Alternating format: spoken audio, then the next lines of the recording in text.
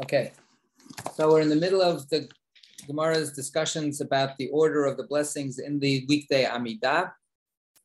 And um, we uh, put, uh, uh, we, we found ourselves, we sort of read this really quickly. Middle of, of 17b3, left-hand column um, about uh, the healing blessing that is in the eighth spot, the eighth blessing. So let's start from there. Okay, will somebody do us the honor of, of uh, reading the text, please? Gemara inquires, left-hand side, 17b3, middle of the column. Who's going to do that? Going once, going twice, going three times, four times five times, six times, seven times, eight times. Come on. Okay, now we'll try it again. Going once for a second time, going twice for a second time, going three times. Who's going to read? Come on. I'll read, even though you can't see me. Uh, we can see you fine. You, you have a capital M and an E and an R. And an yeah, I know. Okay, well, I'm going to get a magnifying glass because this is a little small. Okay, where are we starting? 17B3, yeah. left-hand column, middle of the column. The Gemara yeah. inquires, and why did they see fit to okay. say? All right, I see it. The blessing of healing. Yeah, and and why did they? Wait a second, I want to get the microphone. Okay, and why did they uh, see fit to say the blessing of healing eighth?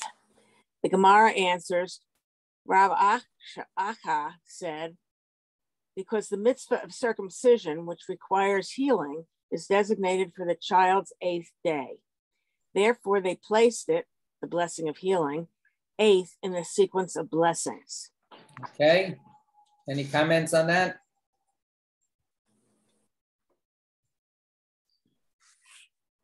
Okay. Does anybody uh, ever get at the end of their Seder to uh, who knows one, who knows two, who knows three?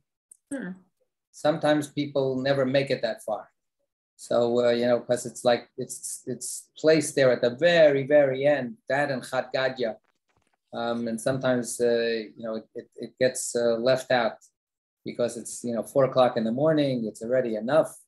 So they don't do it. But if you do it, so we go, who knows, one, and one is What's one? What's uh, the answer? Who knows one? Creation. No. One is God. Okay. One is Hashem, one is Hashem, one is Hashem of the heavens and the earth. Echad miyodea, echad echad Elokeinu. God, our Almighty God is one. Shema Yisrael, Shem Elokeinu, Hashem Echad. So there's only one one, and that's God. And then we go, who knows two, who knows three, who knows four, and we go up through 13. So who knows eight? When we yeah, say eight, right? What? Yeah, No, that's months of birth, and that's nine. Ah. Right? Because we have a full term, a full term is right. Yemei Mila. So eight is the days for, for a circumcision. Right? If all things go well and everybody is healthy, then it's the eighth day mandated by the Torah. Vayom Hashmini Yimol Besar Olato. And, his, and the person's, uh, the baby's uh, uh, flesh shall be circumcised on the eighth day. So this is taken as a mitzvah mandating that it is the eighth day that the, that the milah should happen. And that means that even on Shabbat, which is normally a time that we wouldn't do an operation, it's an operation, it's a medical procedure. Um, you're not allowed to, to uh, uh, do that on Shabbat. Nevertheless, Brit Milah, if it's uh, everything again, if everything is okay, then, um, and it's a natural birth, then we override Shabbat and we do Brit Milah and we do the circumcision because it's so important for it to be on the ninth, on the eighth day. So last time we talked a little bit about eight being the number that goes past seven, obviously. And since seven is the, the, the number that includes all of creation, the fact that, that the world was created in seven days, seven Shabbat, and all of the sevens, the, the fact that we're in a seventh year, the sabbatical year, it's called the Shabbat year. So Shabbat is the seven, and Shabbat is this culmination. By Hashemayim right? The culmination of all creation of heaven and earth happens with the seventh day. So seven is the culminating, all-encompassing number. So eight is like this, you know, uh, um, what would be the opposite of anticlimax? The opposite of, you know, like super climax. It's like beyond the culmination is the breakthrough to eight. Um, when people uh, talk about the fact that Brit Milah happens on the eighth day, one of the things that they uh, point out is that this ensures that every male baby lives through a Shabbat before they get circumcised. Right? Um, Shabbat will, will they will encounter a Shabbat in their young life by the time they get circumcised. Right? If the circumcision was on the sixth day, you could theoretically never, you know, not have Shabbat yet. So um, the eighth day is, of course, one day past seven, and will always include those seven days. So eight is this beyond the natural culminating number. Um, what the what the uh, Gemara says here, of course, is that having a brit, because it's a medical procedure, because it's a wound of the body of the body, it's a cutting into the body, that assumes in the very mitzvah, it assumes healing, right? Because if it didn't assume healing, it would simply be torture. What's the difference between torture and brit milah? For some people who are against circumcision, there is no difference. There's the the uh, you know uh, inflicting this terrible pain and and uh, mutilation on the body of an innocent, defenseless baby is considered barbaric by many many people, um, and uh, you know it, Judaism struggles with with uh, throughout history with people who are against circumcision, um, you know, and with, with all kinds of arguments to bring to bear. And on the other side of it, Judaism has been practicing this for thousands and thousands of years. So far, we've been okay practicing this, this uh, practice. And part of it is, is because fundamental to the practice is the answer, is the, is the belief that it, the baby's going to be okay that this is going to be fine, that the baby will recover, and that the parents will recover, and that anybody else who has been anxious about this, we're all going to recover. So Brit Milah is, of course, the, the imposition of a, uh, you know, a mark on the body of this, uh, you know, unaware child by adults. Um, but it is the imposition of that mark with the conviction that this uh, will be okay, that physically speaking, the people, uh, um, the baby and everybody else will heal. So Brit Milah has healing programmed in it. Hey, Wanda, hi. I'm waving to you. Can you see? Okay. So, um, so, so the Gemara says, therefore, eight, the number eight is exactly where this blessing should be. Now, we've had discussions already more than once about the idea that this is trying to create a rationale for the order. It seems to me that as we begin to look at these examples, you know, we can be more or less convinced by them. But part of what the Gemara seems to be assuming is that we're also keeping track of these numbers. That when we make the blessing, we sort of have a sense of what blessing we're up to. Um, that's not, I don't think, common uh, consciousness, certainly not for me. So uh, it, it, just seems to be an interesting uh, um, added feature to think about a little bit. Uh, when one prays, um, should this be a part of one's kavanah? I, I, just leave it out there for now. I don't have anything uh, to say more about that. Rabbi? Yes. I Just out of historical curiosity, I mean, so numerology and numbers have a lot of meaning even now for people, and more so at that time. So, and it's especially for Jews and for you know and others too. Like, but a lot of stock by numbers. So I would think it would actually maybe it was more natural, especially then, maybe. to think like every number is important. So the what starts this whole conversation going. Maybe, maybe. Okay, Geraldine. Um, there's scientific evidence that shows that also that the eighth day, um, the baby's clotting factor um, begins to take place, and the mother's clotting factor is still in effect. So it's also a time of protection for most time of protection for the baby Excellent. as well. Good, thank you. Good. Yeah, and and you know whatever the science we know about it, historically we know we've been okay. We've been okay doing this. Okay, we continue. Merle, back to you. Okay, let me let me get my um. Oh, there it is. Okay. So, um, wait a second. Okay, so the um, the Gemara answers. Um, the, I'm sorry. The Gemara inquires and why did they see fit to say the blessing of the year's ninth? The Gemara answers, Rav Alexandri said, this blessing is directed against those who raise the prices of food unfairly, as it is written in uh, reference to this practice, break the strength of the of the wicked, break the strength of the wicked. And David, when he composed this verse, he included it in the ninth psalm. Therefore, this blessing is also placed ninth. Okay.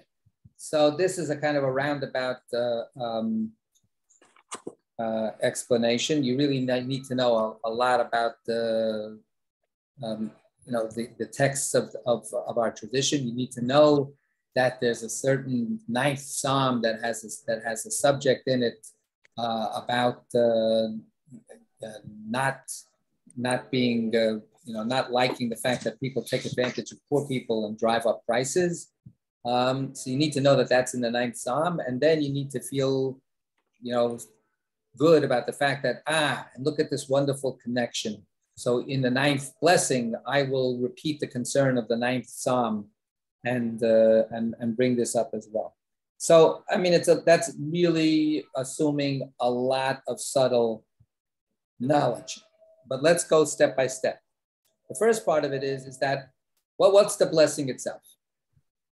The blessing, the blessing of years is a blessing which asks God to uh, make this a year of blessing, of abundance, right? Let it be a good year. And this is the year, this is the blessing where we actually change depending on whether we're in the rainy season or not. If we're in the rainy season, we say, let it be a year with a lot of good rain. That'll bring, make sure that that, that everything will be, um, you know, uh, grow and, and be, be uh, uh, you know, fruitful and so on. When it's not the rainy season, then we say, you know, let, let everything be, you know, have benefited and let the dew also be uh, uh, sustaining the earth so that there'll be enough stuff that will be produced this year uh, um, so that the year will be a good year. Okay, David, you, you're pulling up a Siddur?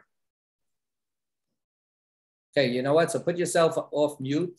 If you could please, when you find that blessing, if you could read it out loud, that would be great. Weekday Amida, Mincha, Mariv, Shachri, doesn't matter. Problem. The problem is I have it in the back of a uh, of a. Uh, All right. So be, bear with me for a second. Let me let me go let me go get my my Siddur because I'm. I, I found it. I found. I found it. Okay. Okay. Good. What do you got? So what do we got here? Let's see. Um, Salah Barech Halenu. Yeah. Oh, wait a minute. It's in, I it in, translation. what? You don't have a translation? No, I just, I'm working off Hebrew. Um, All right, hold on a second. I will read to you a translation. I, I have it also. Okay, go ahead. Lord our God, make this a blessed year. May its varied produce bring us happiness. Grant blessing to the earth, satisfy us with its abundance, and bless our year as the best of years. Praised are you, Lord, who blesses the years. Okay, good. So, so that's the that's the the overall like um, um, that's the overall theme. All of a sudden now the Gemara says that this blessing is directed against those who raise the prices of food unfairly. Did anybody see that coming? No, that's a pretty uh, a pretty interesting uh, um, you know uh, claim here. What's the connection? What's what's going on here? Yeah, so Jenny. So, I mean, it seems actually like okay. That's I, the connection is pretty obvious. You want everyone to be able to enjoy it. Anything is obvious. I mean, as far as and we're talking about food, we want everyone to be able to enjoy this food that God has given us. So I can see where you can leave, but it does sound like someone had a personal pet peeve at that moment, or where like, or their area was dealing with, you know, um, immoral uh, suppliers or something. It does sound like super personal at that moment to, to add this, and this is what it's about. Um, on the other hand, though, in fairness, it is a perpetual problem. Uh, we're going to face it right now in, in the U.S. with inflation that's justified, not justified, etc. So, um, I mean, I guess it's fair. In the end, it's fair to put that in there. Yeah, and, I think I think that that uh, um, look the the the economic realities of life in general are not going to go away. We've, we've uh, been looking at uh, Torah portions that talk all about the fact that um, uh, people struggle. Um, we, we, we're in the middle of a, of a sabbatical year. At the end of the sabbatical year, debts that you haven't been able to repay get canceled. The Torah recognizes that from the outset, that they're going to be economic inequalities, and people who are poor are going to be in trouble unless they get extra help. Um, people will lose their their their assets. People will lose their estates. People will lose. You know, the the repo man is going to come around and just clean up because poor people will be uh, put in in terrible situations that they have no recourse uh, except to uh, to take um, you know, high interest rates or, or sell off their, their land and things like that. Um, and uh, we've, we've had these uh, uh, in the Torah portions and in, in prophetic portions, we've read about it. People that took advantage of, of poor people, people become enslaved, they become in, you know, indentured servants because they, they can't, uh, um, um, you know, uh, satisfy their, their, uh, their lenders. Um, so we had, you know, Yovel this past Shabbat as well. So this, there's the Torah thousands and thousands of years ago already recognizes that there is a power differential between the rich and the poor, and that the rich cannot be trusted to use their power generously and uh, circumspectly um, all on their own. The, the, you know, the, the idea that, that capitalism is, is going to be self-regulating and so on, um, assumes that that uh, somehow or other the, the, the forces of, uh, of, of society all end up balancing out, and it's just not true. Um, it's not an even playing field. So so uh, um, people need to be uh, helped when they don't have, and people need to be checked when they do have. So what this uh, rabbinic uh, statement here, this Gemara is saying is if we would just read that blessing on face, you know, on its face, it sounds like a, a blessing that's just basically saying, God, make it, make nature be abundant. Let it, let it be a good year for, for, for me, for us, for everybody. It's a very neutral kind of uh, um, idea that, you know, hopefully there'll be enough. And naturally speaking, people think about that in terms of their own self-interest. Um, so it's a good year if it's good for me. It's a bad year if it's bad for me. What the Gemara now says is a good year is something that we pray for, not for me necessarily. I could be, you know, a, a you know, a very well-off person. It's a, it. We need it to be a good year for the poor people, because the poor people are food insecure. The poor people are economically vulnerable um, in, in, you know, in, in, a, in a kind of a chain reaction situation. Um, you know, look at what happened. I don't know, you know, it just, it was so sad for me. I was, I was riding around. Most of the time I try to avoid listening to the news and watching the news and so on. I was riding around right after uh, the massacre in Buffalo happened. So terrible, it's a terrible tragedy. Uh, clearly, you know, it's a mass murder. What a what a what a, a horrible, horrible tragedy. But the the ramifications of that were, or one of the ramifications was an economic one. The store was closed. The store where this murder, the supermarket uh, where this murder took place, then had to be closed down because it was a murder scene. So that's legitimate. You, the, they, they need to comb the place for evidence and for whatever. There are legal things that need to be taken care of. So the store was closed and, you know, for it's going to be closed. It was closed. I don't know if it opened, reopened already. I didn't follow, but it was going to be closed for days. That was the only food store in that whole neighborhood. That was the only place where the people who lived all around that for miles could access buying their food without having to take a taxi or, or having a car or whatever it is and schlepping to some other place. It's a little bit reminiscent, obviously not to the same extent, but you know, here in, in wonderful, well-off, successful Montclair, in the fourth ward, I'm on, I'm right at the border. I'm in the third ward, right, you know, a block away from the fourth ward of, of Montclair, where Lackawanna Plaza is. And and it's been whatever it is years and years that there hasn't been a supermarket at Lackawanna Plaza. And people in the fourth ward have no real they have a couple of grocery stores. They have a you know so it's not exactly as terrible but it's pretty terrible. So the the the lack of of services of resources um, we saw this in covid we saw this all the time it impacts the poor so what the Gemara here is reminding us is, is when we pray for a good year, we're actually praying the way this, the Gemara puts it, it's like a one-two punch.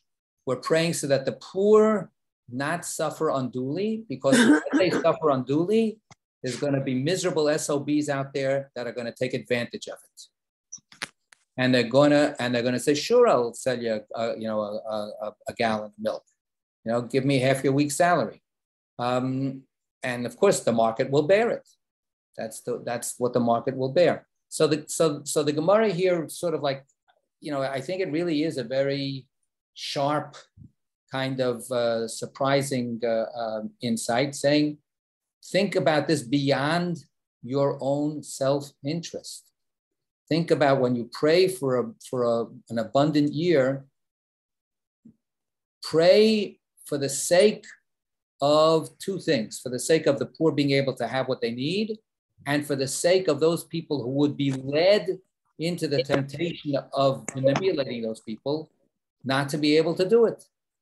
So we're actually saving all of those, uh, um, you know, cutthroat dealers from doing the sins that they otherwise might do. So that that's a you know a, a you know a, a a nice way of, of not letting people uh, become as as rough and as as they as they might be. I was I was uh, look personally speaking. I don't know if it's a secret. I am very prejudiced against the haves. Um, I uh, I'm not impressed with the track record of uh, of of the people that that uh, you know have the economic power Um, I, you know, they, I don't think that they've shown that, that they, that as smart as they are, that they actually create can create a system that's good for everybody. Um, I was just reading a, a an article about an, a, a, a Jewish ritual art artist. In other words, an artist that does ritual objects for synagogues and, and so on. He does, you know, the, you know, an ark door. He's a sculptor. He does, you know, uh, eternal lights. He does all kinds of things. And he, and he has to move out of uh, Chelsea. It's been in Chelsea for 50 years and he can't afford it anymore. And uh, he's 81 and he's still working. He's still, he's still an artist. He's still producing his art. He gets commissions from synagogues and so on. He said during COVID, obviously there was, there was a, a, he got hit real hard. It wasn't good for him. But here's a guy who's apparently still lives off the sweat of his brow. And he said he can't sustain it anymore. And he says, my, my building and my, he's got a loft. Uh, I think he's got the ground floor because it sounded like he had the, the backyard for, for some of his sculpture. But he said the place is just, you know, crawling with investment bankers. And I can't, I can't handle it anymore.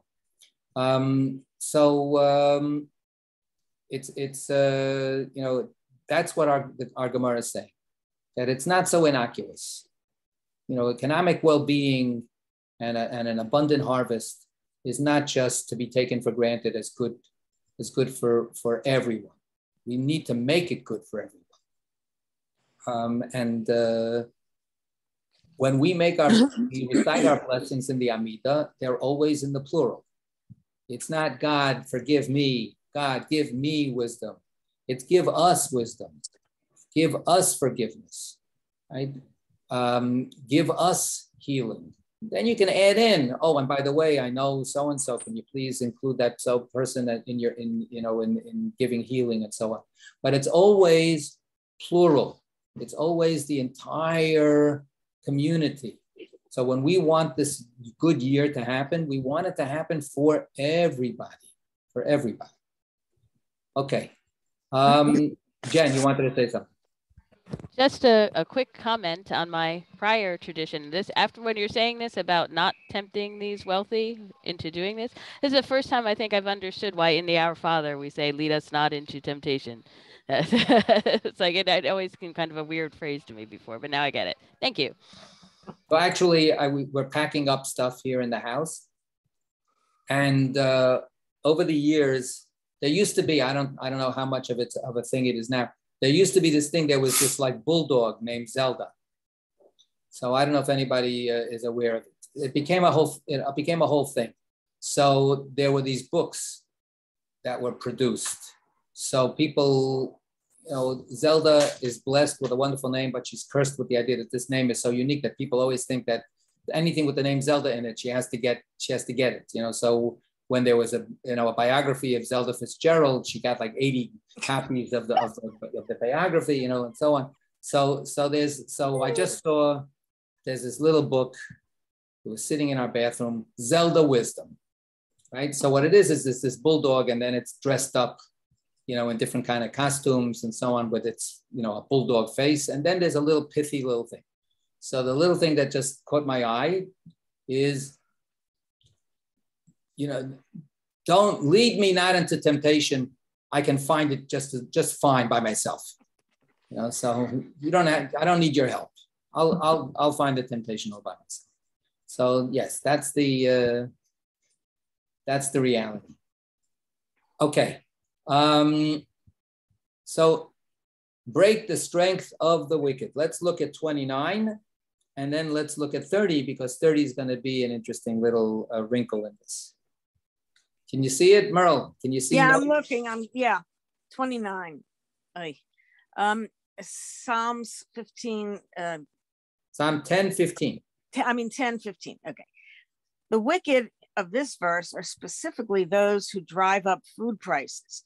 This is borne out by another verse in the same psalm, which states, He lurks in hiding like a lion in his lair. He lurks to seize the poor.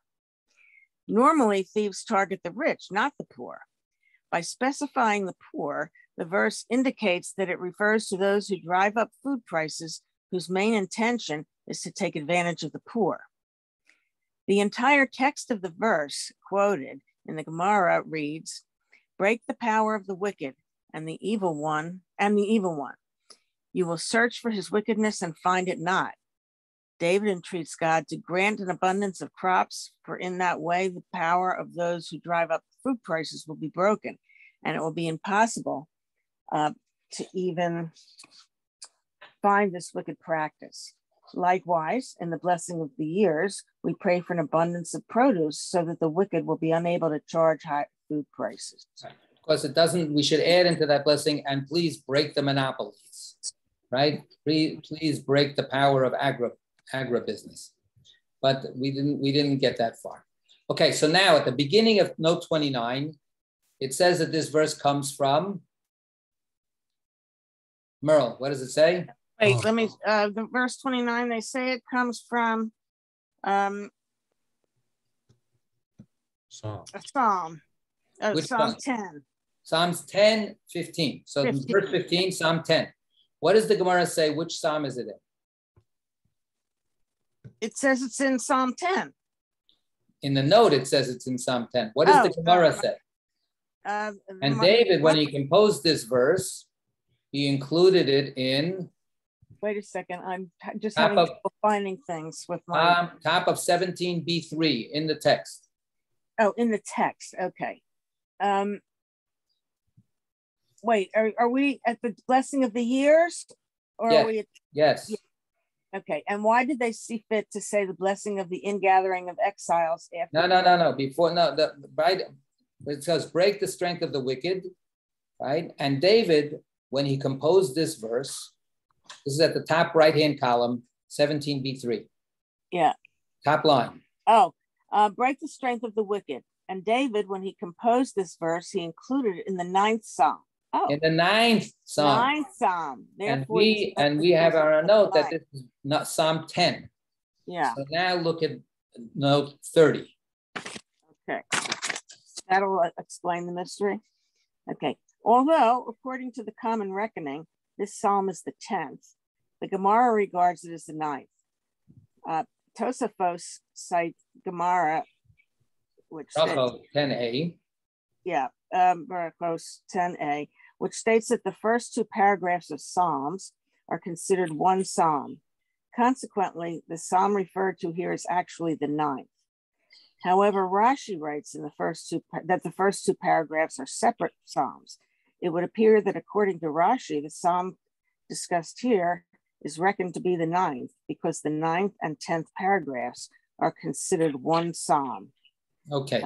So we have a little uh, window into um, a, a question about how we count Psalms and how we divide up Psalms um, into uh, uh, their discrete units. And this is actually, um, uh, there's a difference between Jewish and Christian traditions about counting the Psalms and how you break them up. Um, and it's, uh, uh, we see here that even within the Jewish tradition, it's not clear how we break up the Psalms. We have a tradition that there are 150 Psalms, but when does one Psalm begin and when Psalm end is not always clear. You know, 99% of the time it's clear, but not, a, not, not always.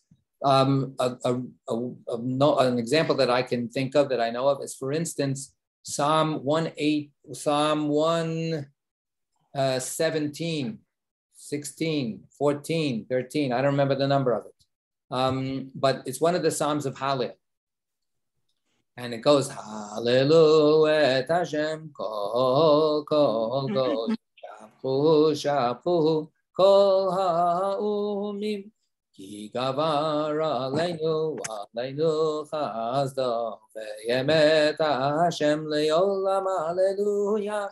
So it's something like two verses. Praise God, all of the nations of the earth, because God has been so um, almightily good to every to us, and uh, and uh, you know God is truly good. The next verse is Hodu la Hashem, right? Praise God because God's love is forever and ever and ever. It's infinite. So does that praise God? Does that belong to the previous lines? or is it a separate song? we have it as a separate song. Um, in Christian tradition, if I'm not mistaken, that short psalm is too short, and it's considered together with the next lines, the next four verses, as one psalm together. So how we divide up the psalms um, is uh, sometimes a matter of disagreement, and here we have, you know, c- certainly the Gemara is explicit. As far as the Gemara is concerned, this is the ninth psalm, not the tenth psalm. Um, how we get it to be the ninth psalm is either we combine the first two psalms of the of, of the of the book of Psalms, or we combine the ninth and tenth psalms. Um, different approaches.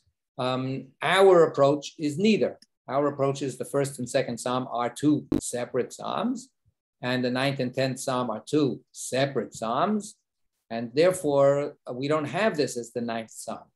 It's the tenth psalm. So the whole Gemara's uh, numerology part doesn't hold up. But the, the lesson, the economic lesson, definitely holds up. The economic lesson is definitely important. Um, okay, so now we continue. Next.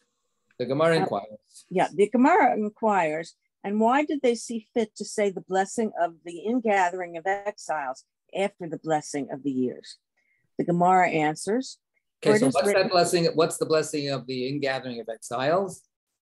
Okay, does somebody have it? I'll read it for you. I have to, again, I have to open up the Siddur. I found my Siddur. It's not so, not so easy to find these things these days because everything is in its different boxes here. Um, hold on a second. So here it goes. Right? Sound the great shofar, announcing our freedom. Raise the banner, signaling the ingathering of our exiles. The sanes lekabetz galuyotenu. Bekabsenu yachad me'arba kanfot and bring us together from the four corners of the earth. You abound in blessings, eternal one. Mekabetz nidchei amo Yisrael.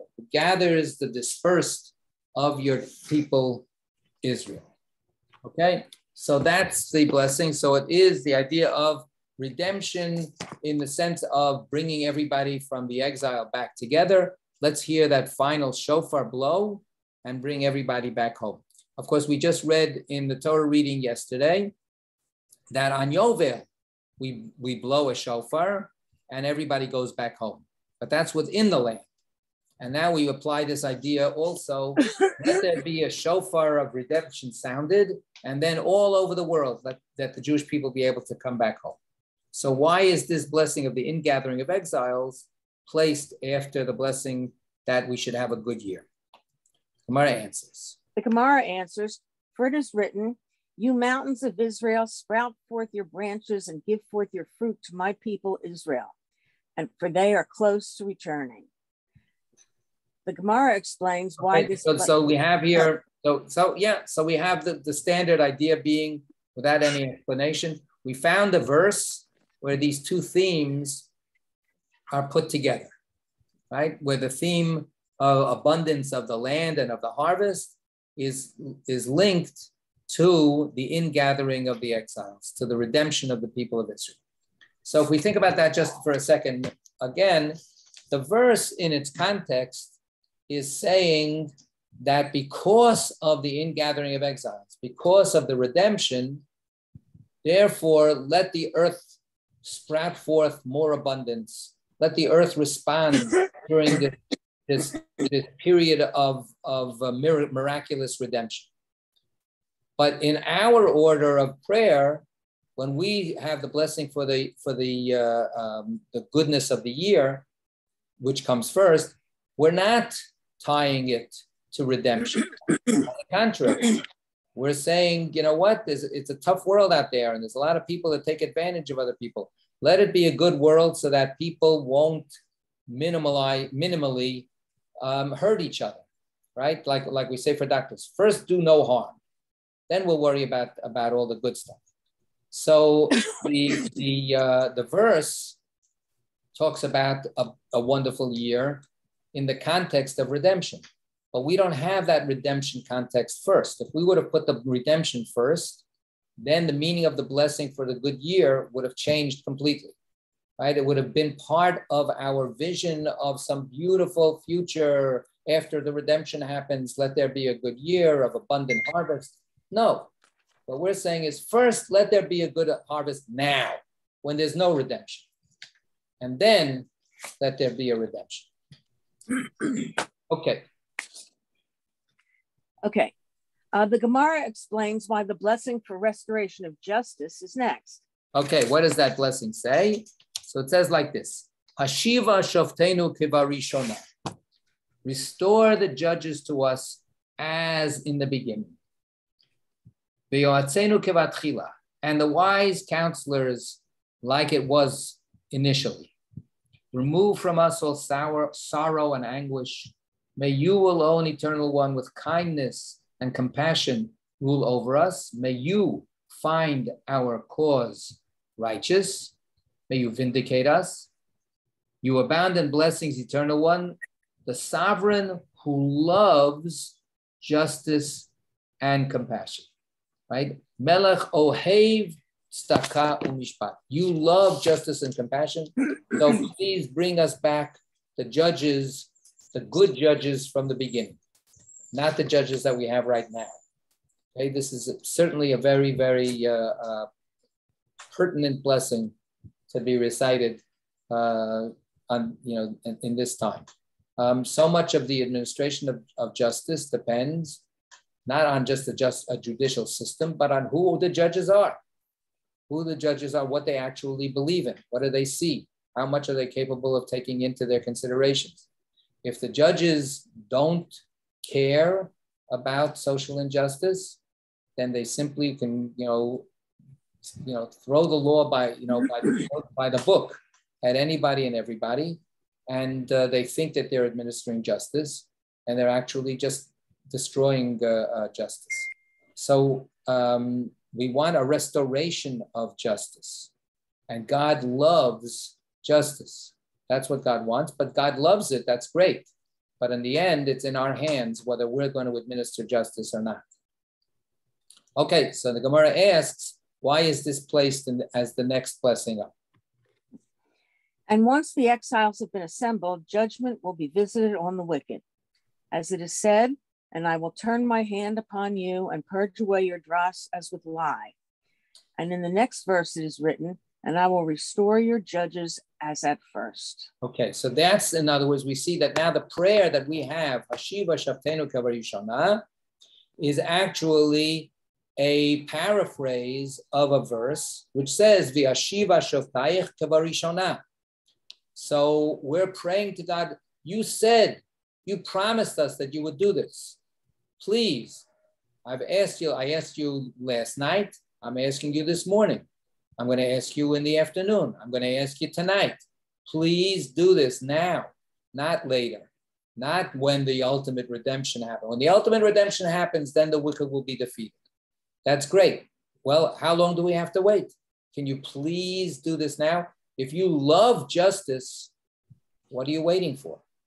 Right? If you love fairness, fair judgment, then we need you to help us now, right? Um, so this is again, the order of the verse says that this is dependent on the redemption, on the ultimate redemption.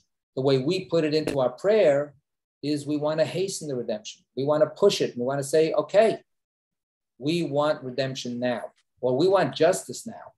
Maybe you don't have to put it off until everything is perfect. Um, to a certain extent, that's really the argument of, of, a, of a conservative uh, uh, judicial philosophy. Stop pushing, stop, stop pushing the envelope. You're just going to cause social upheaval because people aren't ready for it yet. Let things work out eventually when everybody, you know, gets the idea across and that, that everybody is equal, then everybody just by themselves will be able to, you know, vote for uh, equal rights and you won't have to shove it down their throat. Um, so it's this idea of okay, eventually, you know, wait for wait for the Messiah to come. Um, and uh, um, what our blessings say is we don't want to wait for the Messiah to come because there are people suffering right now in the here and now. So please either bring this redemption that we've been hearing about so much, or at least do a little bit of redemption, right? Do an atchalta de geula, do the beginning of redemption there. Okay. Next blessing.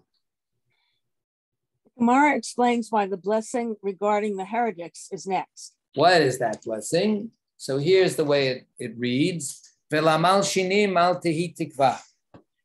Let the hopes of those who defame us, um, or another interpretation is informers, those who are informers, uh, be dashed.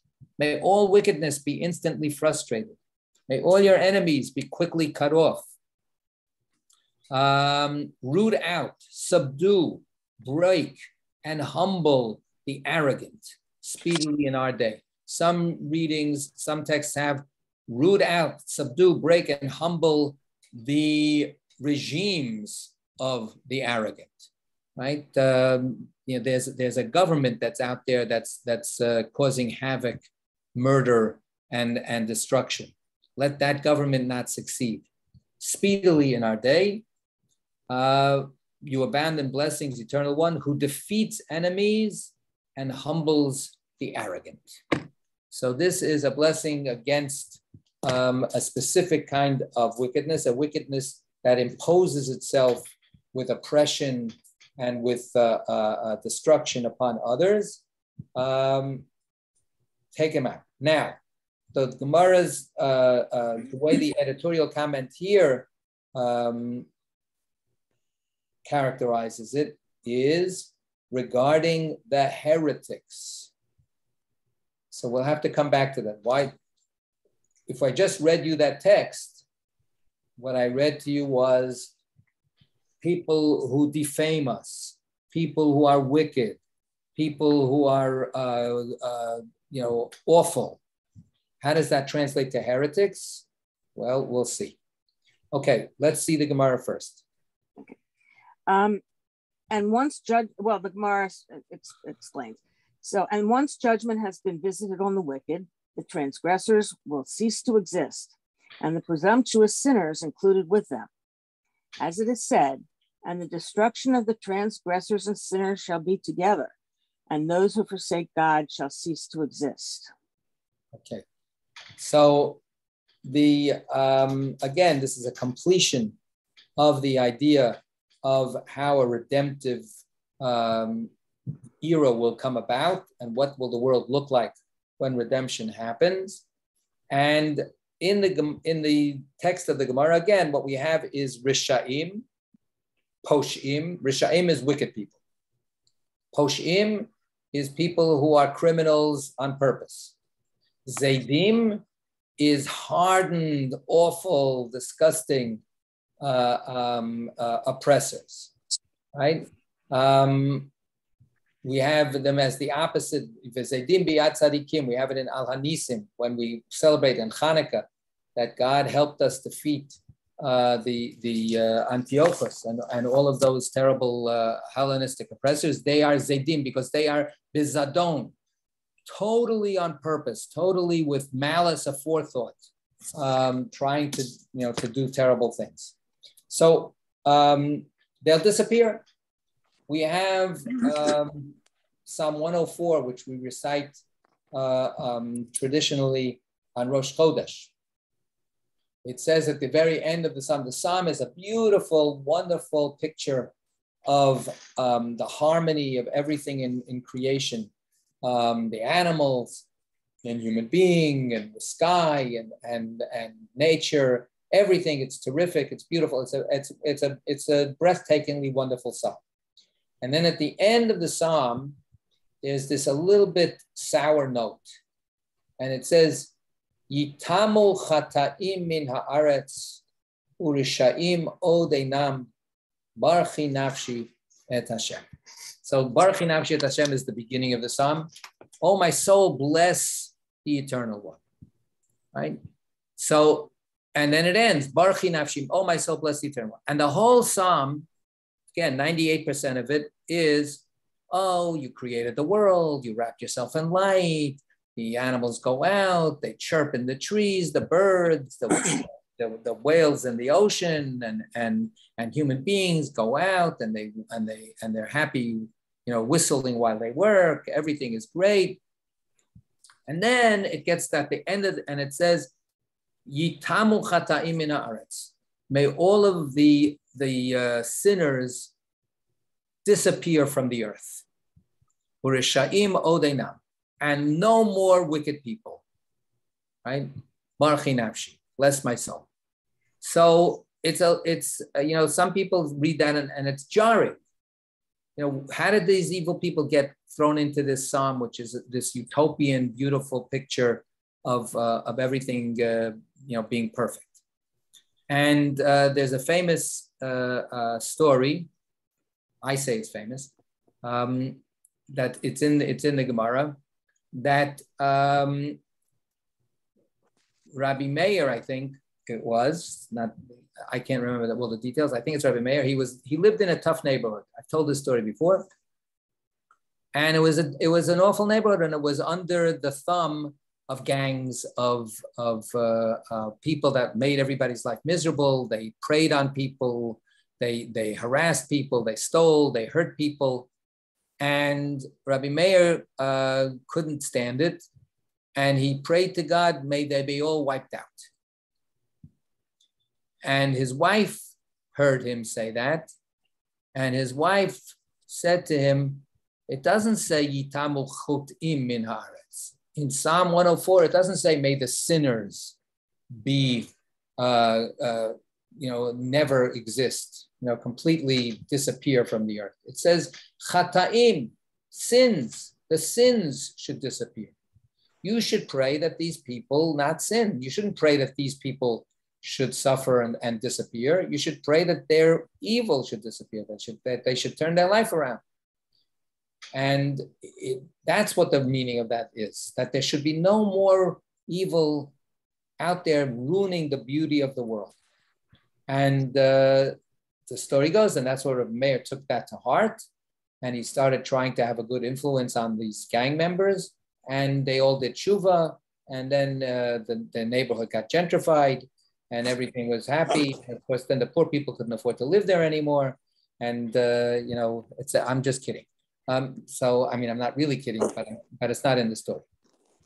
Anyway, so that that's the way it got turned around. So that's part of this question, right? When we're praying for the defeat of evil, how much do we really personalize it and say, see that person that's evil, defeat this person? You know, um, I, I unabashedly want Putin to be eliminated from the scene. This guy, as far as I'm concerned, is the embodiment right now. He's a force of evil.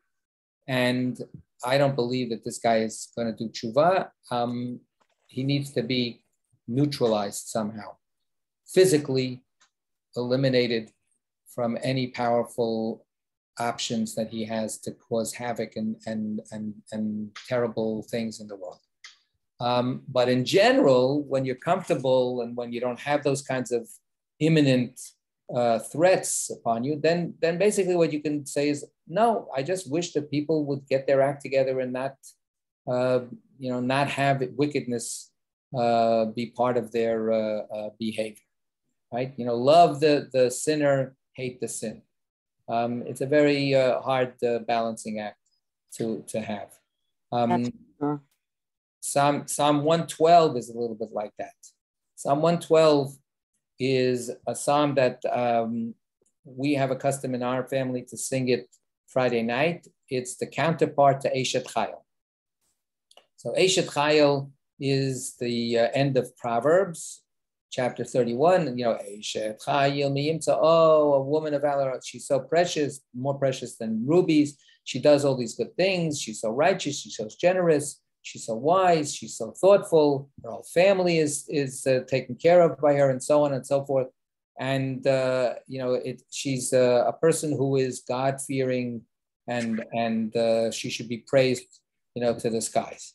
So that's the Eshet Chayil. So there's a, a very, you know, uh, widespread custom to sing that Friday night. Um, we added a kind of an egalitarian uh, uh, complement to that. Psalm 112 sings the praises of a righteous man. And with the same characteristics, he's also he's generous, he's nice, he takes care of his family. It's all, you know, very much parallel. Um, and actually, both of them, both of those texts follow the Aleph Bet. Eshet Chayil follows the alphabet, and uh, Psalm 112 uh, follows the alphabet, except that Psalm 112 at the end goes, um, um, it says, you know, uh, she, um, it says, it says, Pisa Nasan Labionim, um, it goes,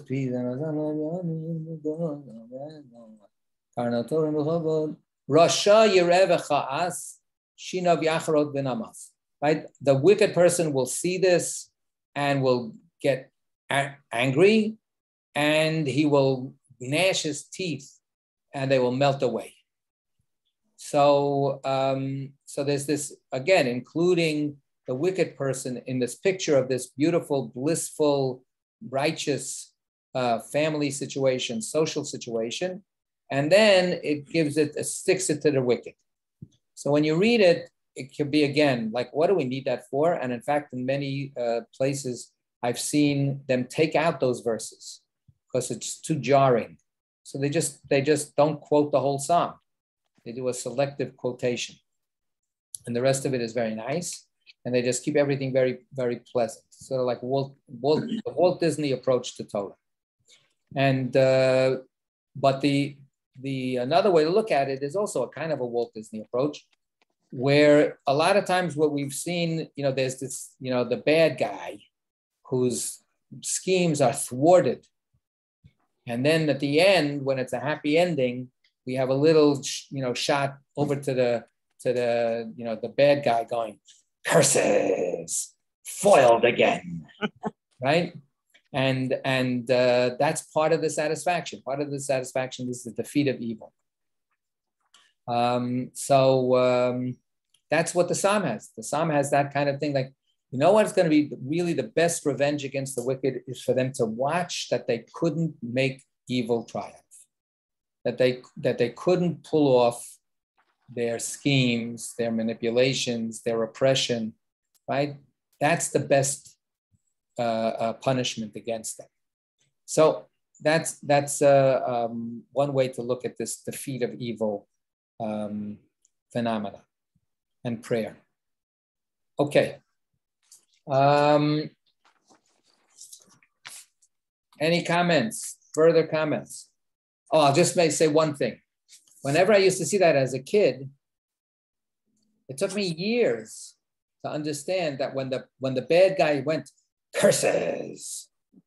that that was the way the cartoon people were saying that he's actually saying curses, but they're not allowed to say the curses because it's you know it's a ah. child show, so he can't say all the expletives, and so he says curse. I never knew that until I was you know until I was like seventy years old, and I finally realized that that's what they was was saying was that he's actually saying curses, but he can't say the curses, so he says curses. Um, did everybody know that except me? No. I know that. I did not know that. I, I thought he was he was giving out curses, like I curse you and curse you and just general. Oh, that's what it really is. What it really is is they're saying he's really saying all of these, you know, four-letter words and terrible things that we can't publish on, you know, on a, on a children's show. So they just say curses. Yeah. Hmm. All right. Um, we're on 17B4. Okay. The Gemara explains why the blessing for the righteous is next. Okay, what's that blessing? Oh, we never explained the other thing. So why does the ed- editorial comment say the, the Gemara explains why the blessing regarding the heretics is next? Did we see the word heretic? Do you see the word heretics? I don't see the word heretics. Do you see the word heretics? Oh, in the blessing, no. In the blessing that we talked about the wicked people. No. So the answer is because there are texts that say not those who slander us, but there are texts that seem to be earlier texts that say to the heretics there shall be no hope.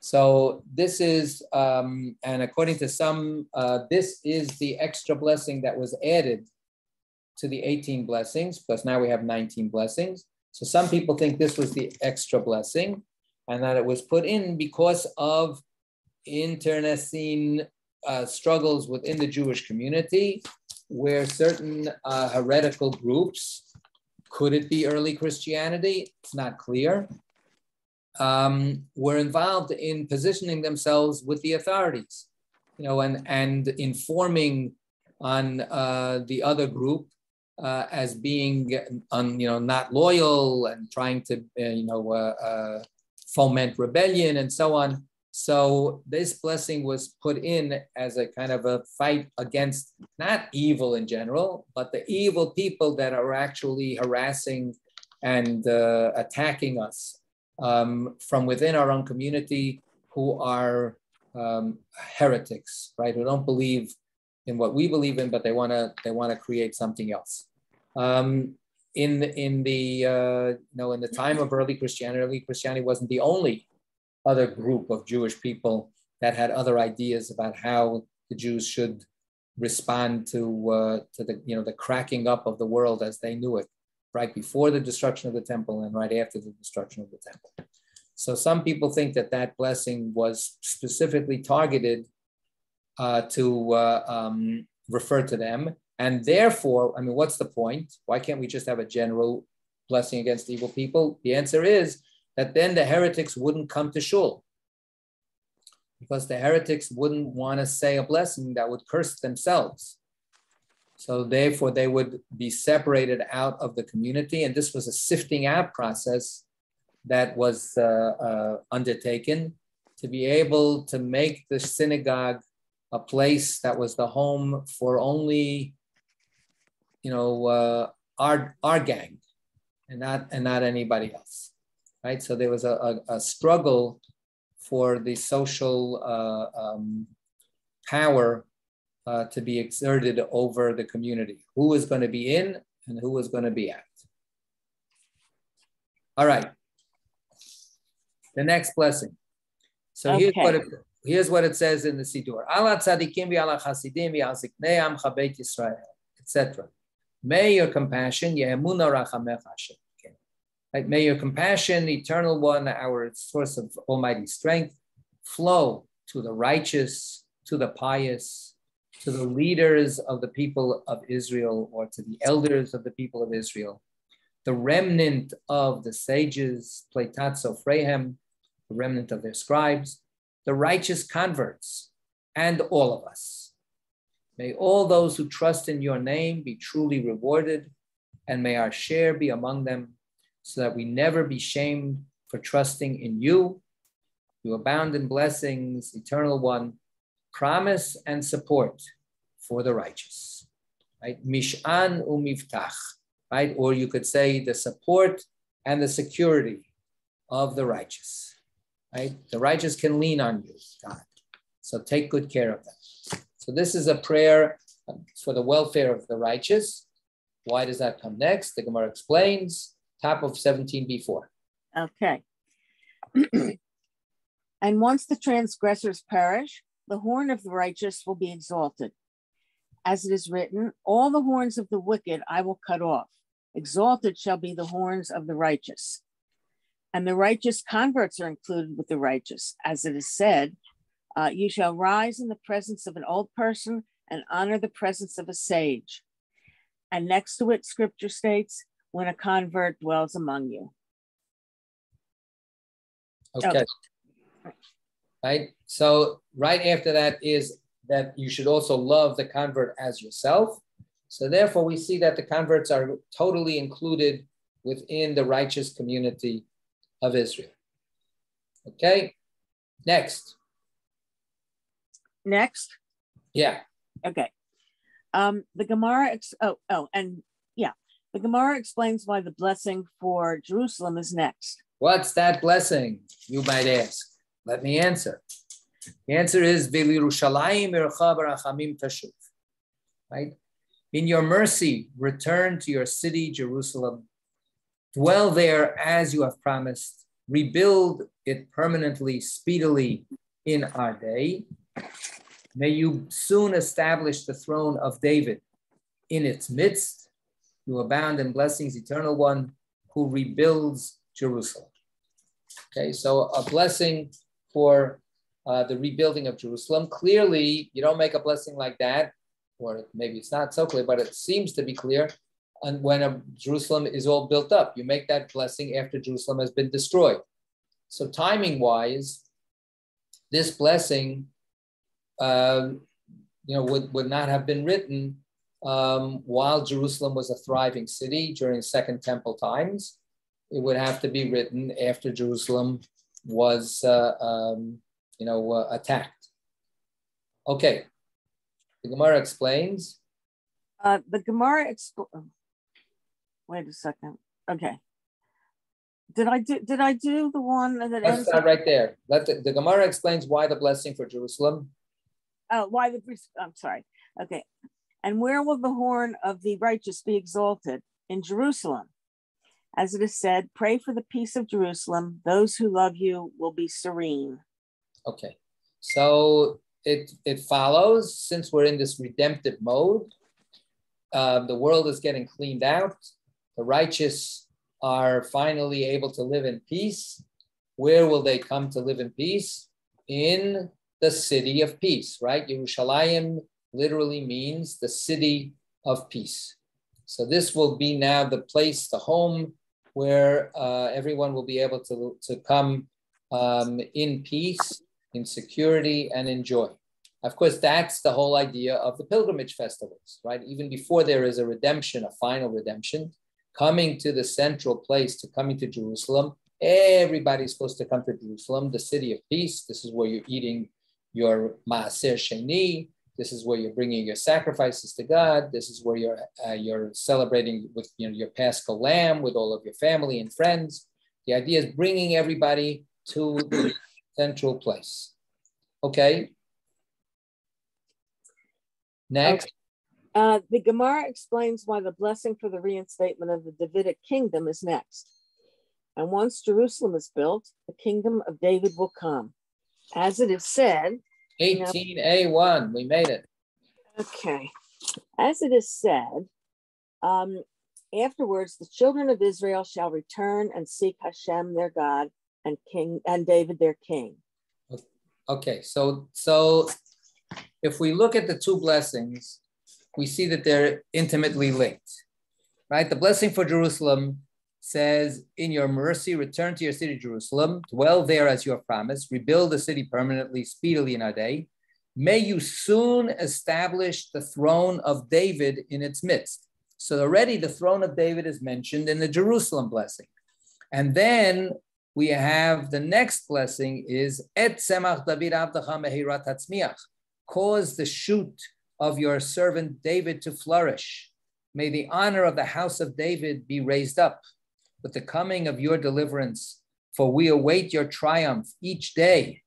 You abound in blessings, eternal one, who causes salvation to flourish. Matzmiach Keren Yeshua.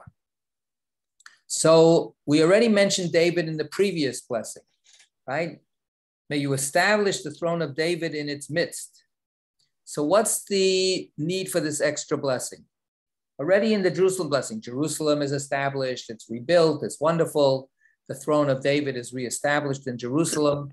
So haven't we touched all bases? What's the additional prayer of Etzemach David Avdacha Mehirat Tatzmiach?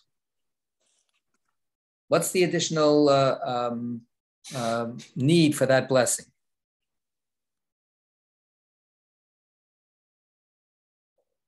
Oh, am I supposed to read now? No, I'm asking a question about what you already read. Oh. I'm asking uh, the group, what's the sense of this? So I'm going to read to you.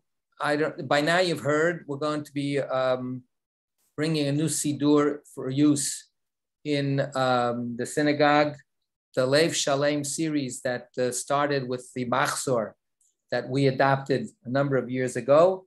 Um, also has a weekday siddur, which we don't have but we also but they also created a Shabbat and festival Siddur, um, and we have that. and that's coming. That's going to be officially uh, initiated for use in our uh, shul on June 18th. So stay tuned. Um, and I'm going to read to you the note that they write on this blessing of, um, they call it messianic hope, cause the shoot of your servant David to flourish. What is this Tzemach David Avdacha? This is the V'yatzah Choter Megeza Yishai. This is the Isaiah, Isaiah's vision that eventually the Messiah will come as a shoot coming out of the uh, um, root of Yishai, who was uh, um, uh, David's father, right? So this is the, the messianic vision at the end of days that there will be this Messiah and the, the dynasty of uh, David will be restored. So this is the note that they have. This was the last bracha to be added to the Amidah. So according to this theory, I mentioned before that, that the heretic blessing was assumed by some scholars to be the 19th blessing that was added to the 18th. Here we have a different theory that this is the blessing that was added. This was the last bracha to be added to the Amidah, bringing its total number of blessings to 19 instead of the original 18. It was added in Babylonia, where the exilarch, the head of the Jewish community in exile, right, traced his lineage to the exiled house of David. Almost all manuscripts reflecting the right practice in the land of Israel in the first millennium exclude this bracha. Ultimately, though, this prayer does not center on a Messiah, but rather on God's triumph, a world ruled by just laws, a world at peace. Reuven Hammer, Rabbi Reuven Hammer, remarking on the fact that the word Messiah does not appear at all in this prayer, argues that too many failed and false messiahs in Jewish history led to the exclusion of the term from this central liturgical moment. Okay, so what we have here in this uh, very dense comment is a lot of different issues uh, to, to uh, ponder. Um, it's a blessing for the restoration of the Davidic dynasty. And what does that imply is up for grabs. Um, is this a, a, a, a, you know a miraculous transformation of the world in messianic times? Is this simply saying we want to have self determination, Jewish self determination in our own home, political power, with the image of David as being the representative of that. Um, so how messianic, how transformative do we do we imagine this picture uh, needs to be? So, all right, we're going to stop here, and God willing, we'll continue next time. Sei everybody. Thank you. Yashik.